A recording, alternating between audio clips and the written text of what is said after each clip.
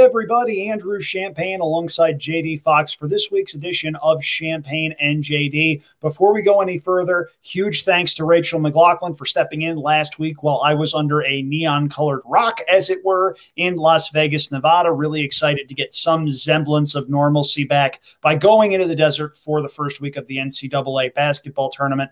We'll dive into that a little bit. We'll also have Gino Buccola on to talk about the Florida Derby Day card, specifically the late pick four that begins in race number 11.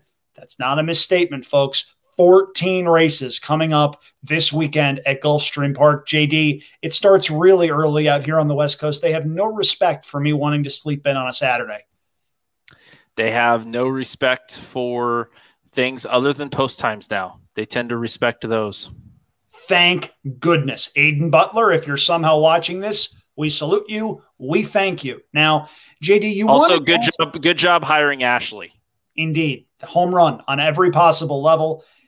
So, JD, you wanted to ask me about Vegas, I guess. Uh, do, do you want to like wheel into that in some way, so, shape, or form? And so, how was Vegas, Andrew?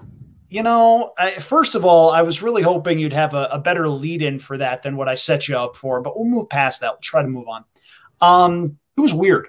Uh, first of all, was really good to be able to see my dad for the first time in nine months. We both got our COVID shots, thank goodness. Uh, and it wound up being a nice time to be able to spend with him and to be able to, as I've mentioned, get something close to normal. Now, we were at Flamingo for the majority of the of the trip. We were in the Flamingo Sportsbook. Shout out to Cliff Brown and his friends. If y'all are watching, thank you for letting us sit in some of your seats that were not taken. We really appreciated that.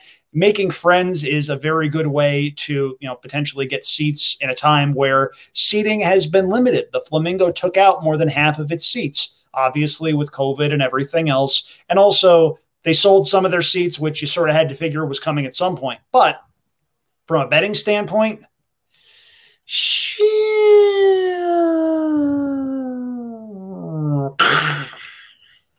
it was a rough weekend for a lot of different reasons. Thankfully, my Monday was pretty good. I had Oregon on the money line. That worked out really well for me against Iowa. They let Luka Garza get his points. He had 36 points. The rest of Iowa, I think, barely had 36 points, and Oregon just started raining down threes. It was wonderful. Thoroughly enjoyed that. I also put some money on the over in Kansas USC. I didn't see the start of the game because I was on my flight. I land and I see Kansas has three points through eight minutes of the game because that's what you want to see, right? When you've touched down, you have money on the over. The one thing you really want to see is a three seed in the tournament having three points through two media timeouts.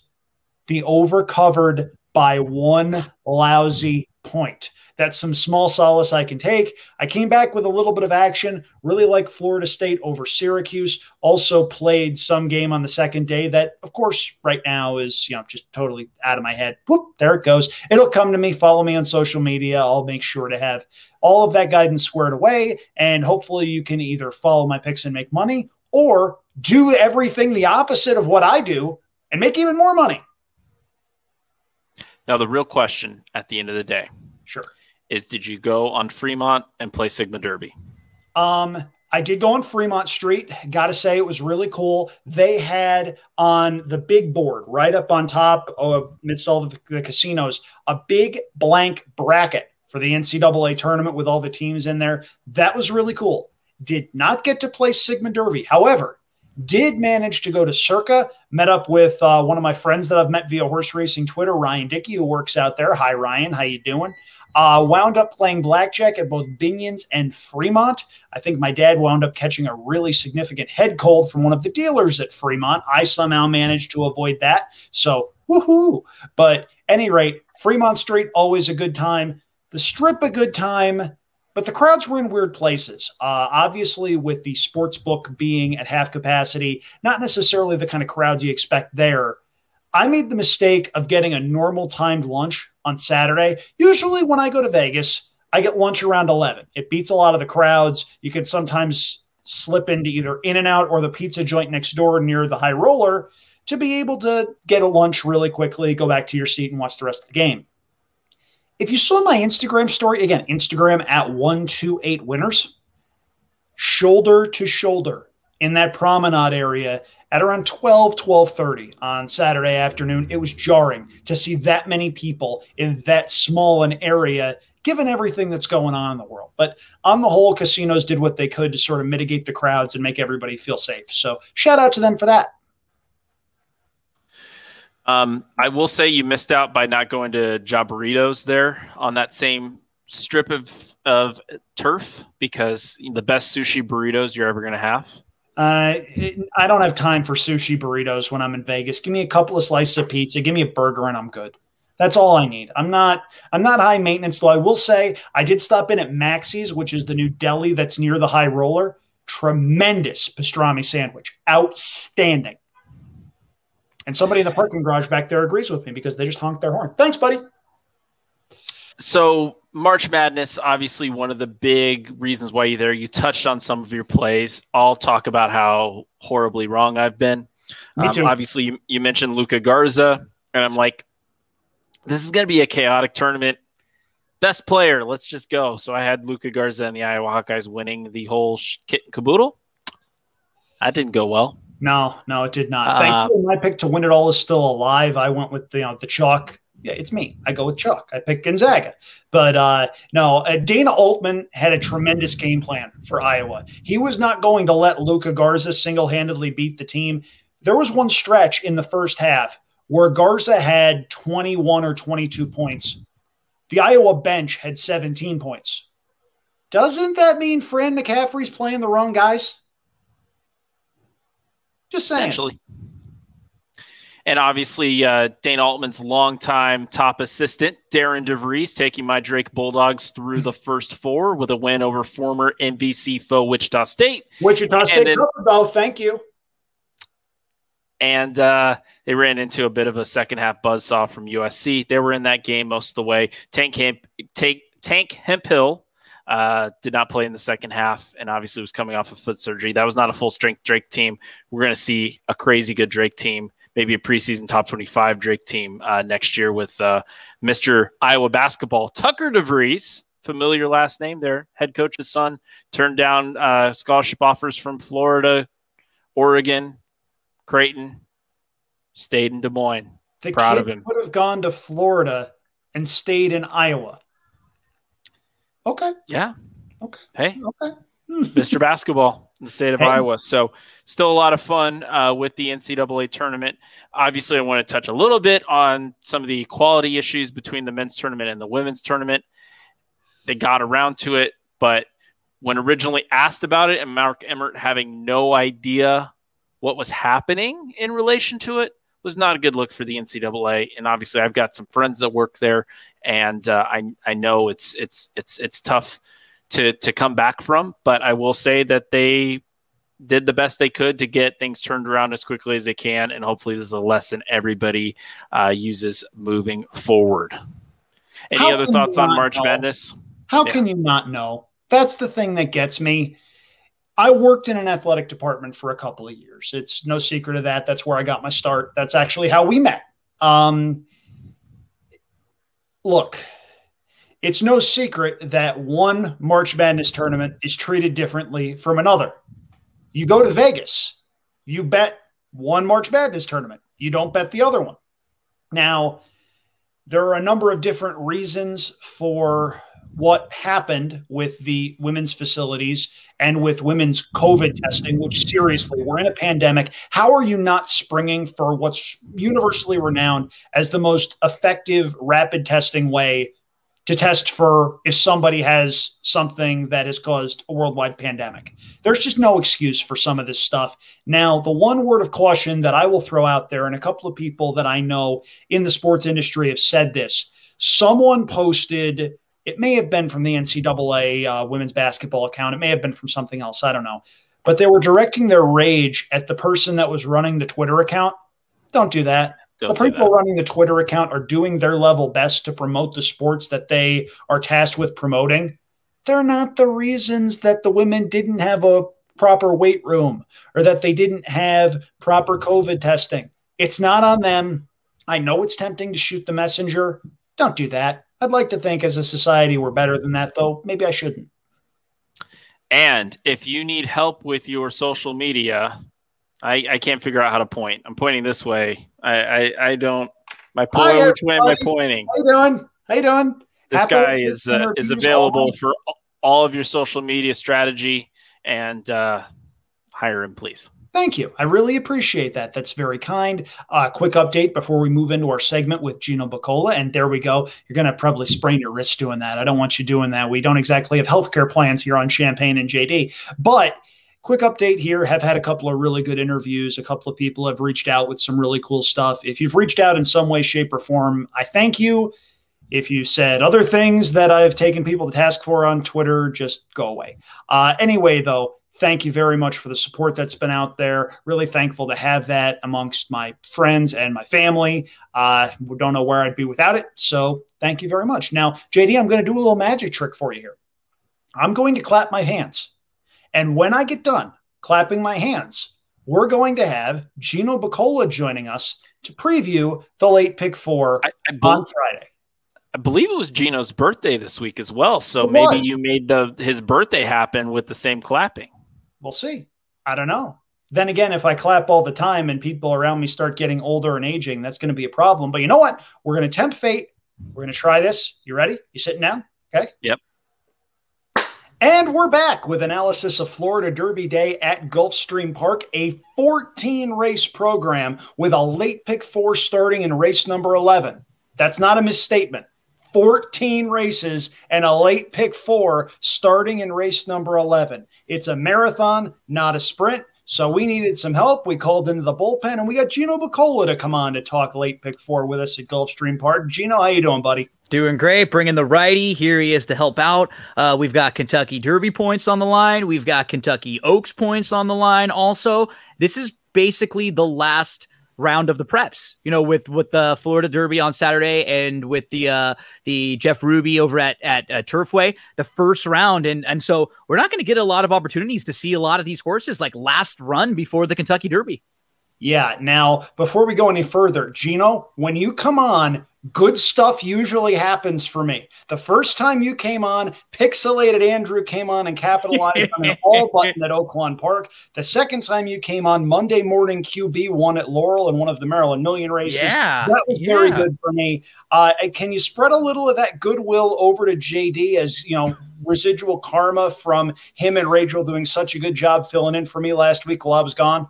He had your Joan Rivers filling in, I believe, is uh, what he said for the uh, the J- Champagne and JD so- show. And as long as it's one of us winning, I'm happy with that. I'm selfless go. enough to where if it's one of my buddies here, I'm okay with that. So let's just hope somebody can lead uh, the folks out there watching and listening to a couple winners.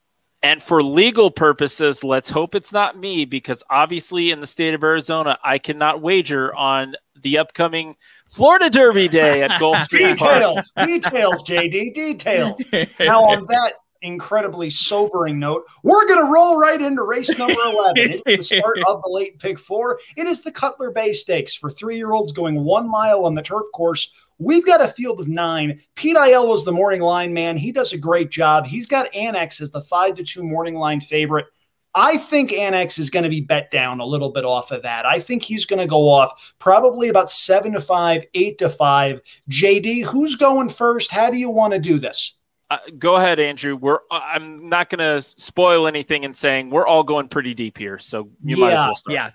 Now, I can't speak for JD and Gino, nor I think would they want me to speak for them, given my track record of that. Having said that, I approached this pick four ticket with a mindset of at least one short priced favorite has to lose in order for this pick four sequence to pay reasonably well. And I'm going against Annex not because I don't think Annex can win. He's absolutely talented enough to win, but that Palm Beach was really weird. They had a runoff going 22 and 1, 44 and 4. I just don't see that kind of scenario happening here. And as talented as Annex is, I'm going to try to beat him in an attempt to extract some value out of this sequence. I'm going four deep in here. To me, one of the more impressive last out efforts in this field came from the horse that draws the rail. That's number one, Hyper Focus. Gulfstream Park's turf course has played very, very fast for most of its meet. When you go a half mile in 49 and 2, you're supposed to win. Hyper Focus broke dead last in a field of seven, passed them all, won impressively. This was a two year old last year that Todd Pletcher had high enough hopes for to send in the Bashford Manor at Churchill Downs. So this was a precocious horse that showed some talent right off the rip. Maybe going long on turf is what he wants to do. He's my top pick in this race. I'm using number five, King of Dreams, who I think is the most likely early speed. I'll also use number eight, Step Dancer, for a lot of the same reasons I like Hyperfocus. He's a closer that's shown he can overcome an unfavorable pace situation. And I'm going to give Fighting Force one more shot. Christian. I fighting. yes, exactly. Hi, Christian Cage. How you doing?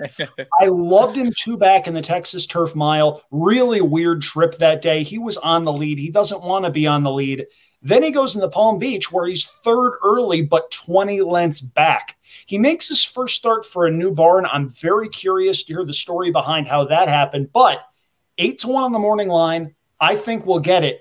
And if I get off of him in this spot and he wins, it's not going to be pretty for either myself or those around me. I need to throw him in, give him one more shot. We're trying to beat Annex here. Hopefully, I've gone deep enough in order to do that.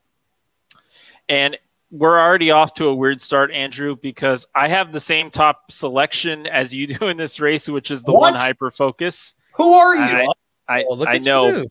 But the one thing I will say, the horse I want to shout out here, if you like hyper focus, I, I, think you have to give what makes Sammy run a look here. Obviously, uh, you, I, I, think you can throw out the last effort back at Tampa Bay Downs. Was never really in that race, but two back Gulfstream Park loses the hyper focus. Actually gets the uh, gets the lead top of the stretch. Just gives way, but a strong effort, only losing by a half length. And I think obviously was the favorite in that event. So I think what makes Sammy run at 12 to 1 could be the speed of the speed here in what won't be a very fast pace. I also am playing against Annex. Um, I, I just I think that horse is going to need a lot to run into and has gotten a lot to run into the last two times. Maybe the horse is talented enough to make up for that, but we don't know at this point. And uh, Andrew is looking puzzled here. You're not supposed to agree with me. These podcasts stink when we agree. We're supposed to provide incredibly different opinions. Do you not get the memos? that will come in due time. Okay. But I think Gino will also spread the love about spreading in this race here. Yeah. Spreading. Uh, I have Hyperfocus pick second. I think Hyperfocus is a must use uh, in all exotics. So from all three of us, I think. Um, and so maybe just off of that, maybe Hyperfocus takes a little bit of money and Annex isn't quite as overbet. We'll see. Um, I, I I'm spreading out and I'll I'll be able to to play this pick four ticket in a um sort of using logical and then a bomb in the rest of the legs moving forward. I'm just kind of hoping to get through this first leg here, and uh, we'll use hyper focus, who I think is very logical. The horse I want to talk a little bit about is um, the number seven. It can be done who I think is a bit interesting in here, stretching back out, has a little bit of pace. I think is going to be either on the lead or pretty close to it. If you look back at his last couple efforts, so on October the 31st, Javi was aboard that day. It just wasn't that great of a ride. Uh, it was kind of just wide on the grass all the way. That's not the type of winning trip you get on the turf when you're giving up, you know, uh, you're three wide and you're just giving up ground all the way around. And then came back going five furlongs and was in a little bit tight, was squeezed back at the start, was back to last, and really came running late. I think that race will set him up pretty well for this spot. I think he probably gets bet down a little bit off of a 20 to 1 morning line. He feels more like a 10 to 1 shot or so in here. So I'll use him. I'll use the one hyper focus. I'll use Annex. I'll also include two horses who kind of have a, a, very similar profile Step Dancer and Lucky Law. Um, they're, uh, they're horses who have shown some good turf success. Uh, Lucky Law was a, was a horse who had good turf success, took a shot in the Sam F. Davis. I think that's an easy race to just excuse. And then we'll also uh, throw in Step Dancer, who has really done not a whole lot wrong on the grass. Maybe needs a, a race, but um, this horse is not all that far off from uh, from being undefeated in a pretty decent effort behind Fire at Will. So give me a, a spread out race one, four, six, seven, eight.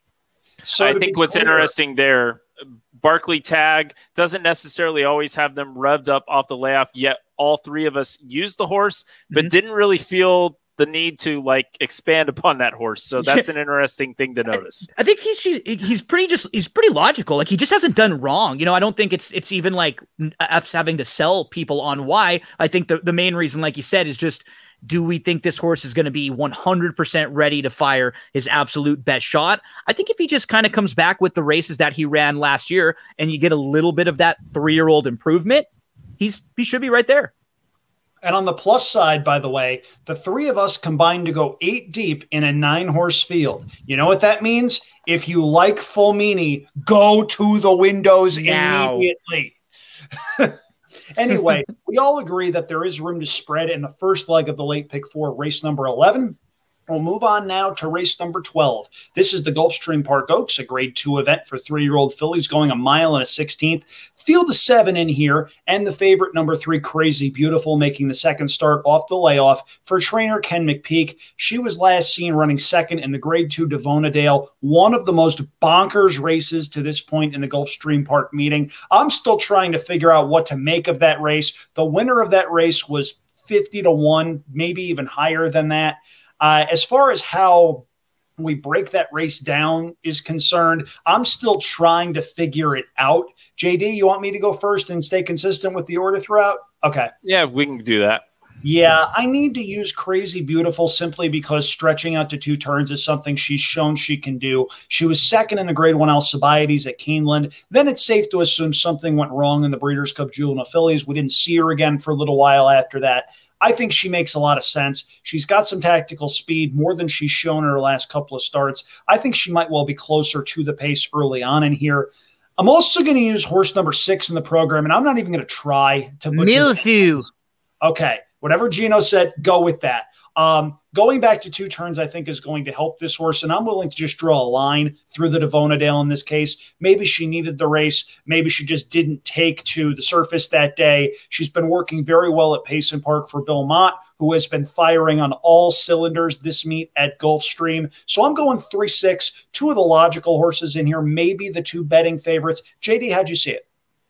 And I'm going too deep as well, but I'm including Cone Lima. I think Cone Lima will get a nice trip coming from the rail. I think Cone Lima makes sense as the only speed. You look back, obviously, has won uh, three of the last four on turf getting up on the DQ of Spanish Love Affair uh, last time, which horrible. I know Andrew. Just a horrible disqualification yeah. that was indefensible as it was happening. It wasn't good. Yeah, so that was in the Here Comes the Bride yeah, I, I expected it, but you look back, got the got the maiden win over this track. Does appear to have a pace edge on the rest of the field, so I, I think Cone Lima is a must use. And again, crazy beautiful. Uh, the only person in the world I know that liked Hole Bodemeister is Dan Torgman on that day, and he yep. gave the horse out and made a little bit of money. So uh, shout out to my my guy Dan, but yeah. I still don't see what he saw in that horse all I can tell is that horse has been reluctant to load twice in the career and has two wins in both of those races. I, I don't know what that even begins to mean, but with that said, um, I'm just going those two. Uh, the the last race, I don't know what to make of it. I, I see, you know, the bullet work at Payson. I, I don't know what to make of it. The the race last time out was just so bad that I have to trim down the ticket. And Millefleur if Millefleur beats me, she beats me. I don't know what accent that was. Gino I was trying to save ask. the show. Yeah, it was not good. Yeah, it was, was like a combination of a few different ones. Um, I'll, and I'll be doing uh, that. I'll be combining a, a, little bit from each one of you. Um, I'm going to use the one Cone Lima. I actually think she she might be like the best horse in this race. Um, she's actually run well on the dirt before previously. I think she probably gets the lead from the inside and. I don't really know how good Crazy Beautiful is. She might just be better than most of this field and be able to, to beat them. But I'll, I think Milfu has the highest ceiling. I, I was really impressed with some of her races last year as a two year old. And I think no matter what would have happened in the Davona Dale, I would have been willing to excuse it and expect some improvement from her second start forward. It's just when it's so bad, it's hard to, you know, and you look back at it and you wonder why, you know, I, I she just didn't really get in. She did kind of have a little bit of trouble and backed up and then just didn't come on again. So uh, I'm willing to give her another shot here. So I'll use the one and the six as two logical contenders, but uh, maybe maybe like your second and third choices if Crazy Beautiful gets a little money. I actually wouldn't be shocked if any of the three of them ended up being favored, though. It really wouldn't surprise me. It's going to be a good betting race, that's for sure. I don't think you're going to see a nine to five, eight to five favorite. I think no. you're going to see three, maybe four horses between five to two and seven to two. And that's at least a square price, especially if, say, the horse we don't have on the pick four tickets winds up winning the first leg, and we need to start playing pick threes of shame. So, race number 13 is the grade three Orchid. This is a fun race to handicap. Older turf distaffers going the marathon distance of a mile and three eighths. Always Shopping, horse number nine in the program, a runner that has found new life going these sorts of distances. She is the eight to five favorite. And it's easy to see why. She's won three of her last four starts. The lone defeat came by a head in the grade three Dowager last year at Keeneland. She's two for two at Gulfstream with a very impressive win in the La Prevoyante. She's my top pick. She just makes a lot of sense here. I'm pretty happy that they were able to bring her back. It looked like maybe they were considering a potential stop in the broodmare shed for her because she's now a multiple graded stakes winner after that win in January. Happy we're going to see her. And I think she's going to do a lot of really cool things this year as a classy five year old mare that is on the verge of possibly the prime of her career. I'm going too deep in this race. I'm using Always Shopping. I think Always Shopping is definitely the horse to beat, and I'm hoping down here we can wind up putting that up. Maybe. There we go. Thank nice. you. Appreciate nice. it. Right on cue. Uh, however, there's one other horse that I need to consider, and JD's already smirking because the last time we had her on the show and she ran, I called her Mighty Molly at least once. Shout out to Molly Holly, new WWE Hall of Famer. Wrestling reference. Everybody drink. Now, number four in the program is Morning Molly. And I needed to use her because what has she done wrong on turf? Not a whole heck of a lot. The question mark here is does she want to go a mile and three eighths? I think she can. Her race last time out in the grade two Hillsborough at Tampa was very good. She just missed that day. She's run first or second in every one of her turf starts. And from a Beyer speed figure standpoint, she doesn't have to improve all that much in order to win this race. She's eight to one on the morning line. Tom Proctor knows how to train horses to win these types of races. Needed to have her on the ticket, even though always shopping is my top pick. 4 9 for me in race number 13. And no, we're not even done yet. JD, your thoughts? I see this differently than the public or differently than uh, Pete did when he made the morning line. My my top selection in this race is actually the six Cristal. And you look back at that allowance event on January 14th at Gulfstream Park, going the very strange distance of a mile and seven sixteenths. Really, the first time that this horse has gotten a chance to extend out past a mile and a sixteenth, and was just much the best. You could tell Bravo had uh, her in hand the entire length of the stretch. Just waited, made the one move, ask the horse once, and the horse beat. Uh, enjoy it while he can for fun, but enjoy it while we can. I also include on this ticket because I do feel that that horse can get this distance. I'm going deep here, two, four, six, seven, nine, and I even would give Bell Laura a shot here and feel bad that I left Bell Laura off the ticket here because that could be the early speed that could get brave on the front end and take these. Uh, these ladies wire to wire. So I'm going five deep and wishing I had kind of gone six deep, Gino.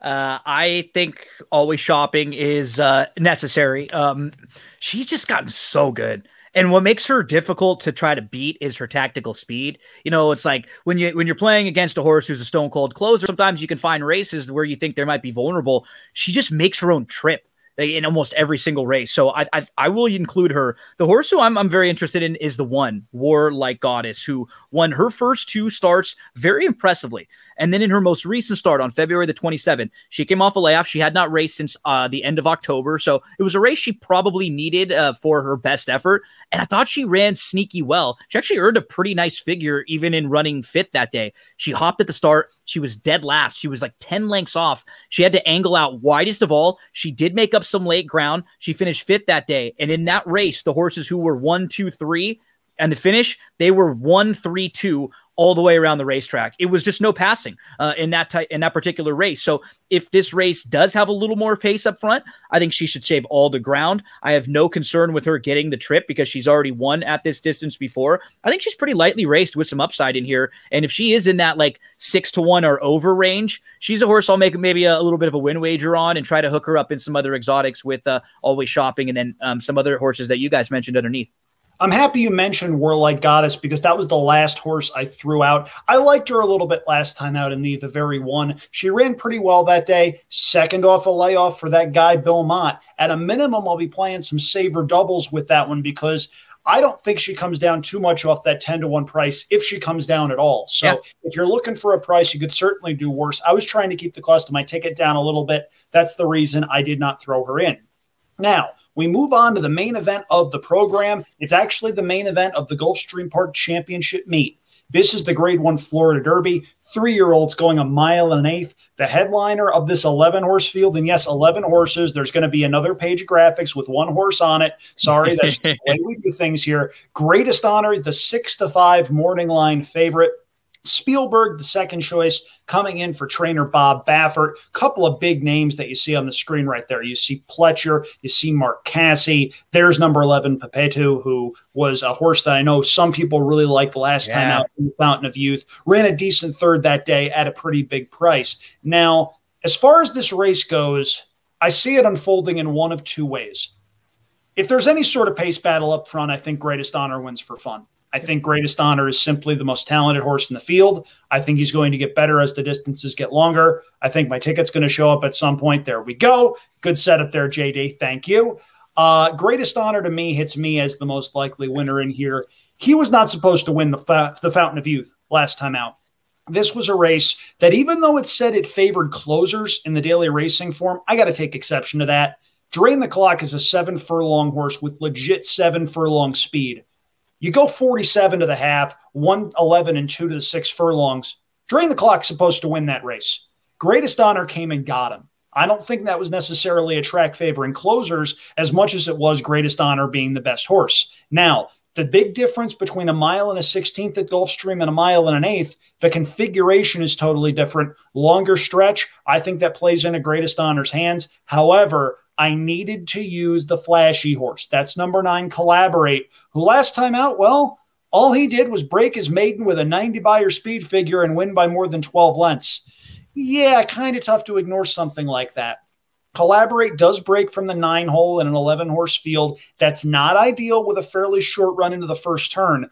But if Collaborate clears and gets comfortable, I think he could be sitting on a pretty big race. I think this is a pretty simple set of rider instructions for Tyler Gaffalione. Go early, see if you can clear, and if you can clear, get comfortable. I think one of those situations comes out. Either they duel early, someone tries to go with collaborate that doesn't necessarily have a shot, and that sets things up for greatest honor, or collaborate gets the drain the clock trip, and collaborate turns out to be better than drain the clock going a mile and an eighth. 7 9 for me in race number 14, the Florida Derby. Rounds out a $16 ticket for me, 4 by 2 by 2 by 2. I'm trying to beat Annex in the first leg. We do that. Maybe we get a second choice home in the second leg. Then we get the 8 to 1 shot, Morning Molly home. Then we're live to a nice score. So $16 ticket for me. And even if it chalks out the last three legs, if Annex loses, it's still at least going to pay something. So that was the way I wanted to structure my ticket and uh, I, I, wanted to build some suspense here, so I'm going to go ahead and let Gino actually go. Okay, build okay. some suspense I like that. for Andrew because I know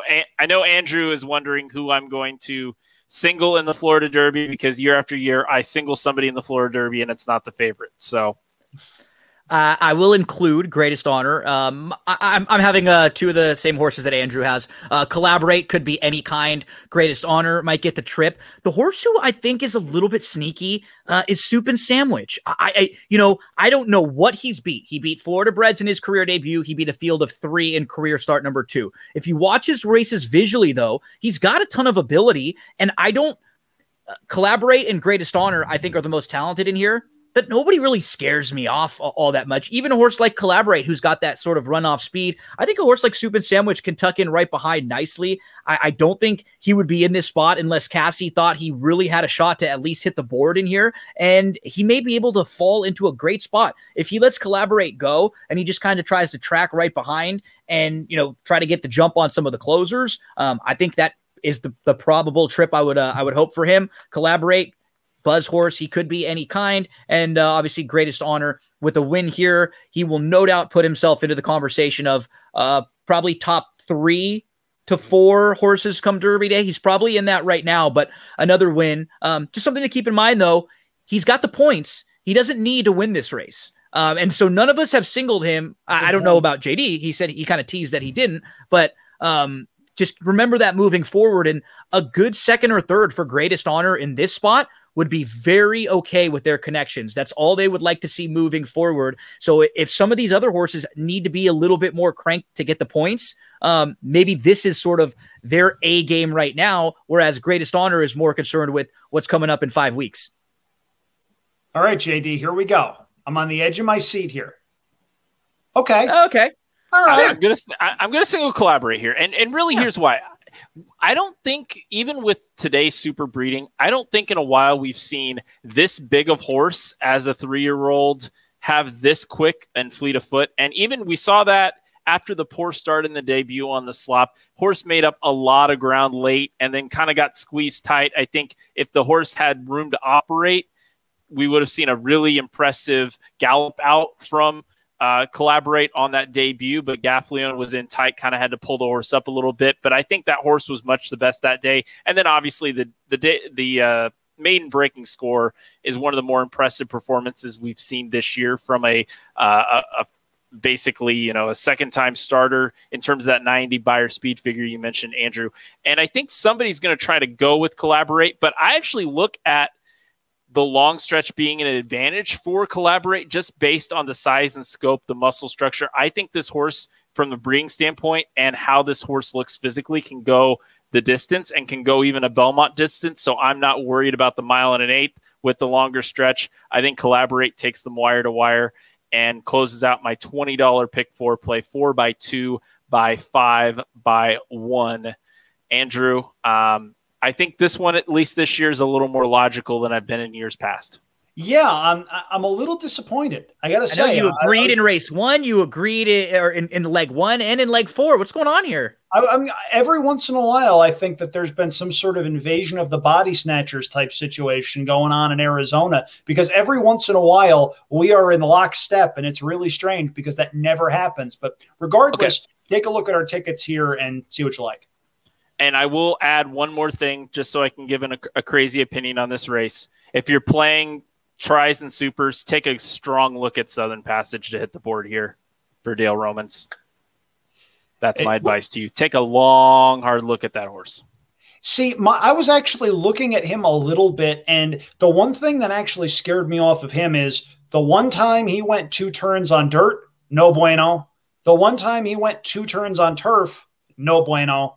I, I just think he's a miler. I think, if anything, if they want to try him in a stakes race, Pat Day Mile, maybe, because he does have some sneaky form. You've got to dig a little bit to find it, but it's there.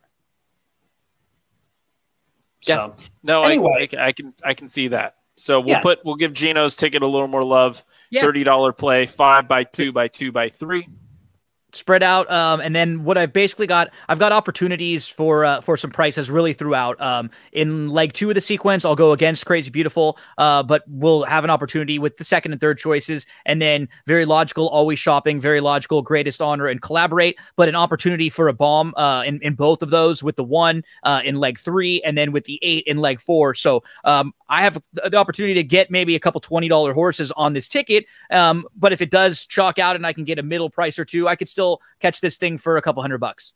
Yeah. And that's ultimately, I think, what we're trying to do something in that general sort of payoff range. In my particular instance, I'm trying to go against Annex. We'll see if that works. And if it doesn't, well, at least I'll know right away. Right. Yep. So, Pick anyway, before we let Gino go, we wanted to carve out a space in our show for, as Gino put it, obligatory wrestling talk. Now, JD, you have some semblance of where you'd like this to go, I think, but by all means, you you, you lead, I'll follow. For those of you that have been uh, hiding under a rock, obviously Gino has that's what G said, a great podcast that you should listen to that covers all sports, all sorts of things from sports to, uh, you know crazy shows that are on television that may be based on popular film franchises uh, to wrestling. And one of the things with wrestling, obviously, is the classic wrestling segment. Andrew, or by DZ, and Gino. Um, now with the move to Peacock and you not being able to just type in what you're looking for, how how do you feel that that uh those segments are going to go, uh, Gino? I mean, is, it looks like Peacock is a disaster. It has been frustrating, and they're already um, editing uh, stuff off, and and you know the the question is is like where do you draw the line here? Apparently, they've edited out uh, Roddy Piper from what WrestleMania six, I believe. Six, yeah. Uh, they've also yeah. edited. There's not the episode where Donald Trump takes over Monday Night Raw is not on there either. Um, so I guess they're just like picking and choosing things that they want to show and they don't want to show. We'll see. Um, hopefully, the WrestleManias will still at least be on because between now and SummerSlam, they're saying that it's going to take a while for the migration to get all of the the uh the old library up there. So yeah, we might be stuck going through uh some bad WrestleManias. I know we, like we've been avoiding having to uh to do WrestleMania 11 and 12 because those are just like 11 is eh, 12 you kind of have to sit through the Iron Man match, which is great, but it's like well, it's not really fun. 12 might get edited too because there was the, you know, little head nod to,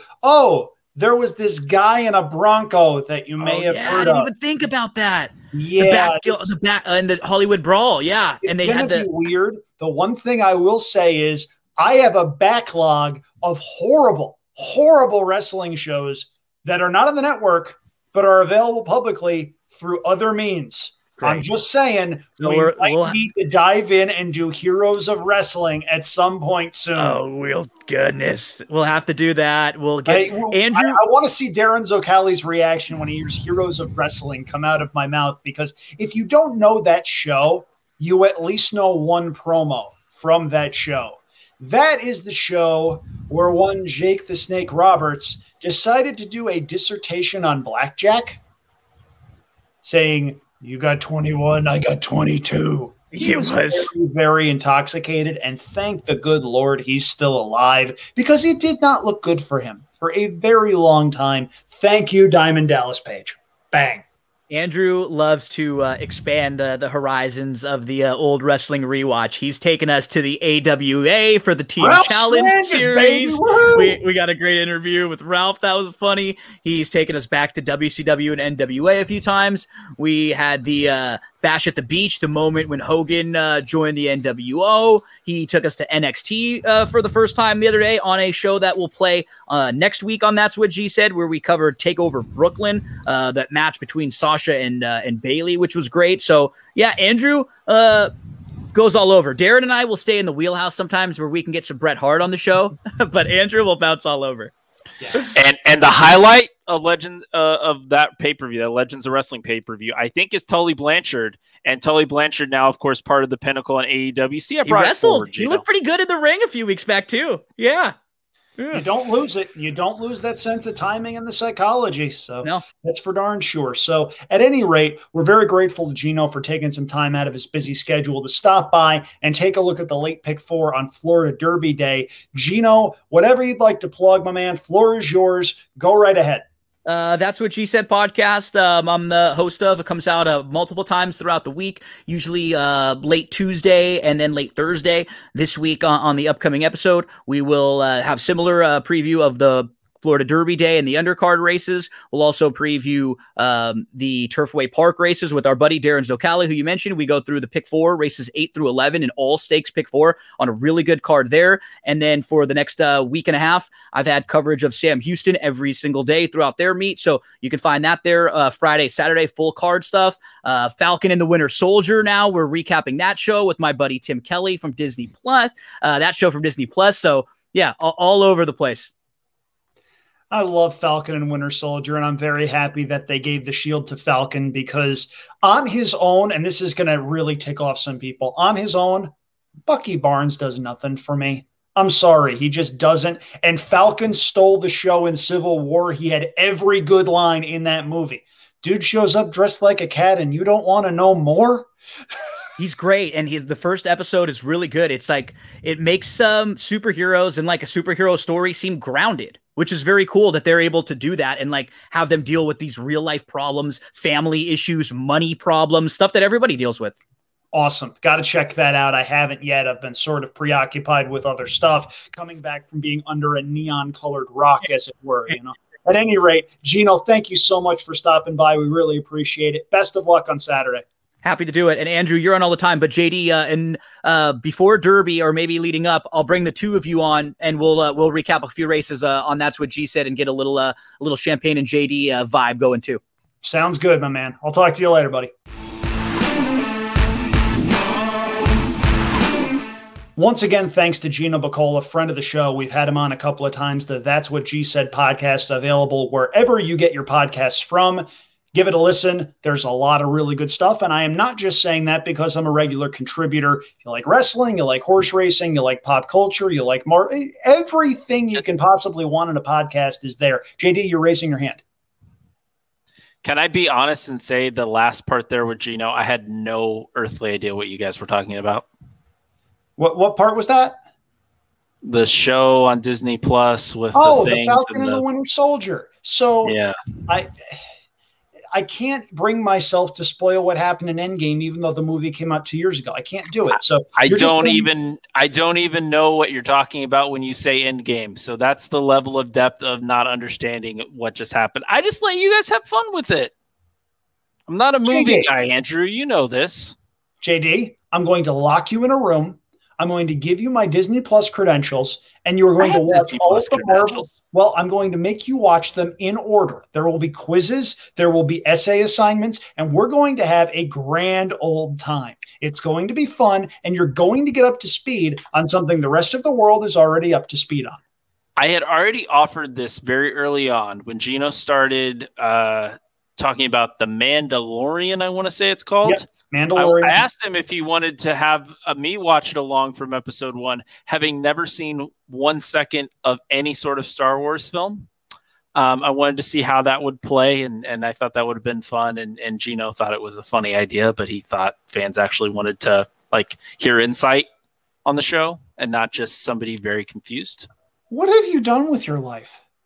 I've done marvelous things. I have a child. Um, oh. I have a job. Those that's I mean, too that's soon. Like a, too soon. Too soon. Got a wife. Okay. yeah. So any at any rate though, uh, Gino Buccola's podcast. That's what G said available wherever all you find podcasts are downloaded. It's good stuff take a listen. Maybe we can get JD to, you know, get into the 21st century and watch some Marvel stuff. At any rate, though, that's for another time. We're going to go into our final thoughts segment. And JD, I'm going to let you go first because you've got a couple of things to say about the Dubai World Cup. Yeah, it's going to be a great card at Meydan. It's going to be very. It, Andrew was talking about being upset at how early Gulfstream Park is going to go on Saturday morning. Uh, Meydan's a lot earlier than that, Andrew, as uh, first post is going to be 515 Pacific time. Actually, that's race two because race actually race one, sorry. I'm using Timeform US because that's what I had up. Race number one is an Arabian race, so it is not on Timeform US. So there is a race 42 minutes before that. So first post is like 4 a.m. Uh, Pacific time. Maybe I'll catch the last couple of races. I'm sorry, I need my well, beauty sleep. The, the, last couple of races, I mean, that's that's going to be 9:50, I believe, okay. Okay. Pacific time. And I could be completely wrong with time zones here, and I apologize. That's going to be your uh, Grade One Dubai World Cup, 12 million dollars on the line, and I have a selection for you: eight to one morning line it's not Nick Hines. We're saluting the soldier in this case, the German bred um, Australian bloodline in the in the breeding has done absolutely nothing wrong at Meydan. Uh, won the last two races, including uh, the Grade One uh, Al Maktoum Challenge round three, and also the Grade Two round two. Uh, winning both of those preps for this race in pretty fine fashion. Uh, going to be uh, eight to one morning line, given the depth of the field. And we're also looking at American pools here. Um, I would expect the U.S. horses to take a bit of money. So I think you're going to get 10 to 1 or above on Salute the Soldier, who has done absolutely nothing wrong this prep at Meydan and I think has a big shot to win the Dubai World Cup. I have no opinion on any of the Dubai races except that I'm very upset Tacitus got hurt because if Tacitus had not gotten hurt, I would have gotten to yell at all of the idiots on social media trying to convince themselves today is the day for the 10th straight start with Tacitus. No, Sometimes horses just are what they are, people. Sometimes races are what they are. Sometimes horses are what they are. No, that robbed me of a good opportunity to do that. I'm just now getting over it. But the Dubai World Cup program, obviously world class racing. If you're up early, you're into that sort of thing, it's going to be right up your street. So take a look at that if that's something that you're interested in. I'm going to spend my final thought congratulating another friend of the program. Chris Griffin has joined us a couple of times since we've launched this show. You may know him as the voice of the California Racing Fairs. You may know him now as the voice of racing at Sam Houston. He just took another job. He will succeed Keith Jones at Parx, what is, of course, formerly known as Philadelphia Park. He'll be the full time announcer on a year long circuit there. Really happy for him. One of the good guys, a guy that did a lot for me when he didn't necessarily have to. I'm pumped for him. Know he's going to be doing a lot of great work over there at Parx and you're going to be able to take a listen to him year round. So fantastic news for everybody involved there. Really happy for Chris, really happy for his family. Yeah, no, it's it's a great opportunity, and uh, for him to be in the same place as the rest of his family and have a full time gig and not meander the country. He's been putting in the work for a long time, so it's good to see him rewarded with a full time gig. Although, to be fair, I mean, fewer and fewer of those uh, in the horse racing scene when it comes to track announcers. But uh, but Chris is one of the good guys and uh, one of the best uh, out there. So much love to uh, our friend in the grandstand, Chris Griffin and a guy that is a tremendous promoter and advocate for the game. We need those in as many powerful positions as we can. Kudos to Parx for making the right hire. Kudos to Chris for getting a job where I know he's going to be doing some excellent work. That'll wrap things up for this week's edition of Champagne and JD. We end on a high note this is really cool. This doesn't happen a whole heck of a lot with us. I don't know what this show was this week. We're ending on a high note. We're agreeing on tickets. Like I, I half expect, you know, Rod Serling to come back from the dead with the Twilight Zone music to close us out. But at any rate, kidding aside, Special thanks to Gino Buccola for joining us to go through the late pick four at Gulfstream Park.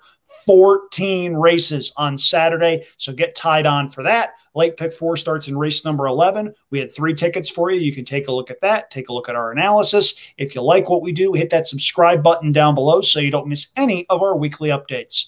For JD Fox, for special guest Gino Buccola, I'm Andrew Champagne. And since I wasn't here last week to do it, I'm going to take the opportunity to use the catchphrase, especially given all the stuff that's going on in Miami over spring break.